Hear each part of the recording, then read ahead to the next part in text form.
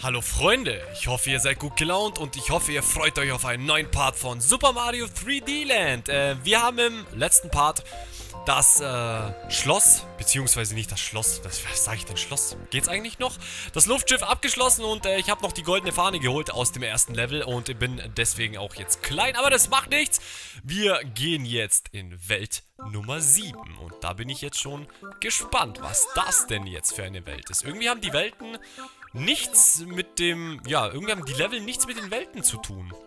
Ein bisschen schade finde ich das ja. Und sogar der Briefumschlag hat einen Tanuki-Schwanz. Oh mein Gott. Peach wird sowas von krass bedrängt. Von allem und jedem. Oh je, Mario, jetzt solltest du dich ein bisschen beeilen. Wir haben nämlich noch zwei Welten vor uns, die wir natürlich zu 100% abschließen wollen. Und ich hoffe, du hilfst mir dabei. Und ich hoffe, ihr helft mir auch dabei, Leute. Wir sind denn jetzt in einer ganz komischen Welt angekommen. Bisschen gruselig sieht die ganze Geschichte aus. 7-1 wird uns hoffentlich Aufschluss geben, was es mit dieser Welt auf sich hat. Und los geht's. Auf jeden Fall ein Unterwasserlevel. So wie man es schon sehen kann. Und ich hoffe, ich werde jetzt natürlich gleich irgendwo groß. Und natürlich hier erstmal ein riesiges Areal. Und da hinten ist das Ziel. Okay, also das Ziel sieht man schon von hier aus. Irgendwie witzig, das Ganze, wenn man das schon sieht. Und da unten geht's weiter. Und die Röhre hier ist nur aus Pappe. Also bei der Röhre können wir schon mal gar nichts machen. Aber unboxen können wir sie doch irgendwie. Ja. Wir können sie mit einem gezielten Sprung kaputt machen. Und jetzt müssen wir da runter. Jetzt müssen wir echt runter, Leute. In die Tiefen des Ozeans. Und Gott sei Dank hat Mario keinen Sauerstoffmangel. Er kann nämlich unter Wasser atmen, solange wie er Bock hat. Wenn ich das könnte, wäre ich echt glücklich. Gibt es überhaupt einen Menschen, der das kann? Ich glaube nicht. Ich glaube, man kann nicht ewig lang die Luft anhalten. Ich glaube, das ist gar nicht möglich. Und wenn ich mich jetzt nicht beeilt hätte, wäre ich gestorben. Na toll. Das wäre ein super Start in den Part gewesen, aber Gott sei Dank war es nicht so.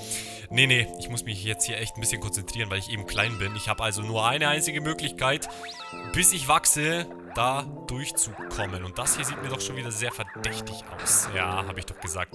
Also warum sollten plötzlich unter Wasser irgendwo ein Kistenstapel sein, wo man sich dann denkt, äh, äh what the fuck, äh, warum? Warum macht man sowas? Warum macht man sowas? Ja, na klar, um dahinter natürlich eine Starcoin zu platzieren. Und der P-Schalter, also der P-Switch hat uns den Weg eröffnet. Okay, ich dachte, da kommen jetzt vielleicht doch wieder Münzen oder sowas, aber so war es gar nicht. Und hoffentlich jetzt hier mal irgendwo ein Pilz. Irgendein Item. Irgendwas, was mich wachsen lässt. Bitte. Ich mag doch nicht mehr. Oh doch, da ein Pilz, ein Pilz, ein Pilz, ein Pilz. Ja, lecker, lecker, Pilze, Pilze. Geil. Ich bin ja nicht so der Pilz-Fan. Also, auf Pizza mag ich zum Beispiel Pilze gar nicht. Das ist für mich ein absolutes No-Go auf einer Pizza. Ansonsten mag ich eigentlich alles. Ja, geht's jetzt oben weiter oder geht's in der Röhre weiter? Aber ich glaube... Hier geht's weiter. Nee, da ist bloß eine Uhr. Okay. Sollte ich vielleicht doch in die Röhre gehen? Ja, komm, ich gehe jetzt erst in die Röhre. Ich will wissen, was da drin ist.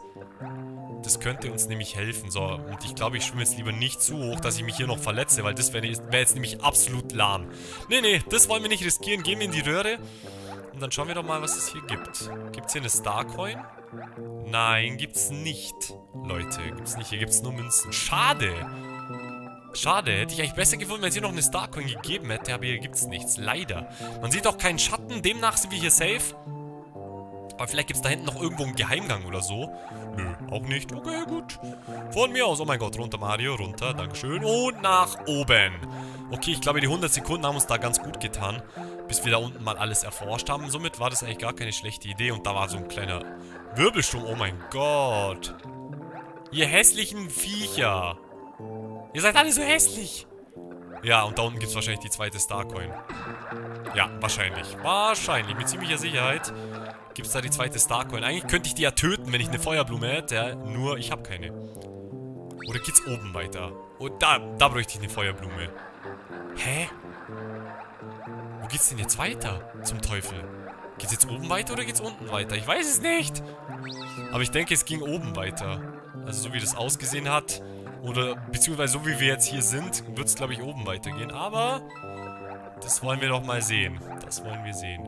Ah, und jetzt sind wir hinter denen, okay. Jetzt sind wir hinter denen. Jetzt können sie uns auf jeden Fall nichts mehr machen. Da ist eine Starcoin, hier. Habt ihr sie gesehen? Ja, das war die... Was, das war jetzt die zweite. Cool. Geile Sache. Geile Sache. Und jetzt geht endlich nach vorne, komm. Aber da, was gab's dann da hinten? Das würde mich interessieren. Was es da hinten dann gab. Und da gibt es nochmal Sekunden. Und jetzt habe ich, hab ich mir echt wehgetan. Schon wieder. Jetzt bin ich schon wieder klein. Jetzt muss ich schon wieder aufpassen, dass mir hier nichts passiert. Ach, komm schon. Vor allem, wir hätten ja vorne nochmal nachschauen. Da ist die dritte Starcoin. What the fuck? OMG! Als ob. Als ob, aber sonst geht's euch schon noch gut, oder? Aber sonst geht's den Entwicklern schon noch gut, ja? Mhm, mhm. Ja, sehe ich, seh ich zwar nicht so, äh, dass es denen gut geht, aber gut. Okay. Okay. Einfach uns da wild in so ein Loch lotsen, wo die letzte Starcoin ist, dass man dann fast stirbt. Klar doch. Klar, ja, super. Und das haben die wirklich toll hier gemacht. Muss man hier alles... Und da oben gab es noch ein One-Up. Mein Gott. Meine Güte. So, Moment. Schaffe ich das mit einem normalen Sprung? Ich weiß jetzt nicht, ob ich das schaffen würde. Aber ich glaube, ja. Ich glaube, die Entfernung ist nicht so weit weg, dass wir das mit einem normalen Sprung hinkriegen müssten. Und wir haben es geschafft. Sehr schön. Die goldene Fahne in der Tasche. So habe ich mir das vorgestellt, Leute. Von klein auf mindestens oder wenigstens noch den Pilz haben wir auffuttern können, dass wir wenigstens wachsen. Und ja, war ein schönes erstes Level für die siebte Welt. Gefällt mir. Nur die Musik ist hier so ein bisschen gruselig. So, die versetzt einen so ein bisschen in, in ganz, ganz komische Vibes. Eine ganz komische Stimmung kommt hier auf. Aber wir gehen jetzt in ein Untergrundlevel 7-2, beziehungsweise in eine Burg-Level. Ich weiß jetzt nicht, Untergrund oder Burg. Eins von beiden, aber ich denke Untergrund. Und es sieht gut aus. Es sieht sehr schön aus. Ich finde die Level von Super Mario 3D Land finde ich wirklich gut. Sehen alle irgendwie ein bisschen, äh, ja, gut aus. So, was gibt's hier? Nur Münzen, okay. Gut, uninteressant. Dann weiter nach vorne. Und hier gibt es ganz, ganz viele Rollen, Leute. Ganz, ganz viel. Und den Schalter werde ich, glaube ich, brauchen. Oh mein Gott, oh mein Gott, oh mein Gott. Das war knapp, das war knapp. Und da gibt es die erste Starcoin für uns geschenkt. Ja, was heißt geschenkt? Wir haben sie uns hart erarbeitet. So, auf das One-Up da hinten verzichte ich jetzt mal. Ja, ich muss ja hier nicht alles, alles einsammeln bis auf die Starcoins. Deswegen lassen wir einfach mal das One-Up One-Up sein und verlassen dieses Abteil und gehen jetzt ins nächste. Okay, jetzt ist es nicht mehr von links nach rechts, sondern wieder von oben nach unten. Und das hier ist so eine Art Waage.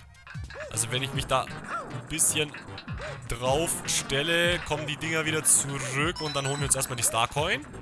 Nein, als ob, der hat mich doch gar nicht getroffen. Oh Gott. OMG. OMG, schnell rüber. Ja, perfekt. Perfekt. Oh, jetzt hat es hier bestimmt ein Item gegeben. Irgendein Item hätte es da jetzt gegeben, ja. Und jetzt habe ich natürlich wieder nur einen Pilz gekriegt, weil ich schon wieder klein war.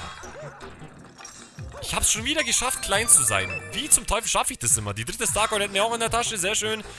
Dann kann ja jetzt nichts mehr schief gehen, bis auf die goldene Fahne und ich bin schon wieder klein. Ich bin schon wieder klein, Dudes. Ich bin wieder klein. Ich habe die Schnauze voll klein zu sein. Versucht man als kleiner Mario die goldene Fahne zu erreichen. Das ist gar nicht so einfach. Oh nein. Mir ahnt Schlimmes. Mir ahnt Böses, Leute. Ja. Wie ich es mir dachte. Ah, nein, nein, okay, okay. No Nochmal ein Versuch. So, bam. Und rüber. Ja, geschafft. Puh. Gerade noch so. Im letzten Moment konnte sich Mario noch an der Spitze des Fahnenmastes festheben. Super Mario. Deswegen heißt du auch Super Mario und nicht nur Mario. Ja, deswegen Mario ist super. Super Mario. Ja. Gut gemacht, sehr schön. Ein Toadhaus. Da muss ich auf jeden Fall rein, weil ich nämlich ein Item brauche. Und dann geht es schon wieder zu einem schwarzen Fragezeichenblock. Wie viele Münzen werden wir wohl diesmal brauchen? Wie viele Starcoins? Ich denke 70. Ich glaube 70. 70 kommt ungefähr gut hin von der Menge. Und da gibt es eine Feuerblume. Danke, Toad. Du bist so lieb. Dafür schieße ich dich jetzt einmal mit dem Feuer ab. Moment, Moment. Okay, zweimal. Alle guten Dinge wären drei gewesen, aber leider habe ich ihn nicht getroffen. Egal, macht nichts, Leute, macht nichts. Jetzt kümmern wir uns um den schwarzen Block. Um den schwarzen Fragezeichenblock, der sich uns hier offenbart hat. Und 70, ja, war ich ganz gut geschätzt. War ganz gut geschätzt. Oh mein Gott, das nächste Level schaut ja düster aus. Das sieht ja noch schlimmer aus als das, wo wir jetzt gerade waren. Und was eröffnet sich uns aus diesem Block? Es ist... Oh no, ich glaube... Entweder sind es so Schwingen oder das sind diese komischen Gummibänder, äh, wo wir draufspringen müssen. Also dieses Trampolin-Dinger. Ja, diese Trampolin-Dinger sind das. Nein! Nein, Leute, ich mag das doch gar nicht. Vor allem nicht, wenn es so viel ist und dann sind es noch Fussis und dann gibt es noch Zeug und oh Gott, oh Gott, oh Gott, oh Gott. Albtraum, lass, lass endlich den Albtraum ein Ende sein. Musste das jetzt sein? Du bescheuerte Piranha-Pflanze. Musste das jetzt sein? Ja, klar, dann werde ich doch klein. Logisch. So, gibt's da oben wenigstens was? Nö, gibt's nicht. Gibt's nicht. Ich habe mich jetzt völlig umsonst zu verbrennen, verbrennen lassen. Okay, auch nicht schlecht. Ach, die Starcoin ist hier. Da hätte ich das mal vorher gewusst, ne? Da wäre mir der ganze Spaß jetzt nämlich erspart geblieb, äh, geblieben und ich wäre jetzt noch in meiner Feuerblumengestalt, bin ich aber leider nicht mehr. Das heißt, wir werden jetzt als kleiner Mario irgendwie da durchkommen müssen. So, wie weit geht denn das noch hoch? Okay. Okay, okay. Und da gibt's eine Wolke, auf die ich natürlich gerne drauf möchte. Jawohl. Sehr schön. Kriege ich wieder einen Stern? Ja, natürlich. Natürlich. Hier gibt es immer einen Stern oben drauf. Und das finde ich nice. Das finde ich richtig nice. Dass es hier auch alles ein bisschen schneller vorangeht. Deswegen kriegt man eigentlich den Stern.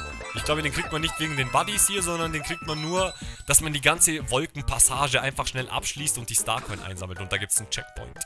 Oh, Gott sei Dank wenigstens ein Checkpoint. So, Stern, wo bist du? Da ist der Stern. Und wo ist Toad? Ach, da sind sie. Hallo. Cool, gibt sogar noch zwei äh, Pilze oben drauf. Sehr schön. Sehr schön. Äh, wo war jetzt, wo war jetzt nochmal die Starcoin? Ich habe sie gerade vorher schon gesehen. Okay, hier. Okay, gut. Muss ich mir merken, muss ich mir merken. Dann ab in den Ausrufeblock und wir porten uns einfach an die, an den letzten Ende, an das ganz untere Ende dieser Passage. So, Moment, Moment. Die Starcoin war hier. Das heißt, wir müssen einmal kurz dann runterspringen. Wir lassen den Fusi einfach kurz vorbeiziehen. Er geht ja bloß sowieso seine Bahn lang.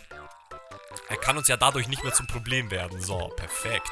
Perfekt, es läuft wirklich 1A bisher. Außer, dass ich meine Feuerblume verloren habe. Das hätte nicht unbedingt sein müssen. Aber gut, kann ich jetzt auch nicht mehr ändern. Und da ist auch schon fast der Exit. Irgendwo hier. Oh nein. Ist das euer Ernst, dass ich das wirklich so machen muss? Okay. Na gut. Dann springen wir einfach mal von ein bisschen höher. Ich hoffe natürlich, das passt dann soweit. Oh nein, oh nein, ich habe so ein ganz ungutes Gefühl, Leute.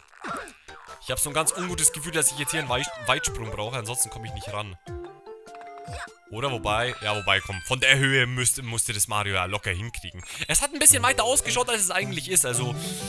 Ne, mit dem normalen Sprung kriegt man das auf jeden Fall hin. Also sobald die Plattform am höchsten Punkt eigentlich angelangt ist, sollte das eigentlich wunderbar zu schaffen sein. Geil!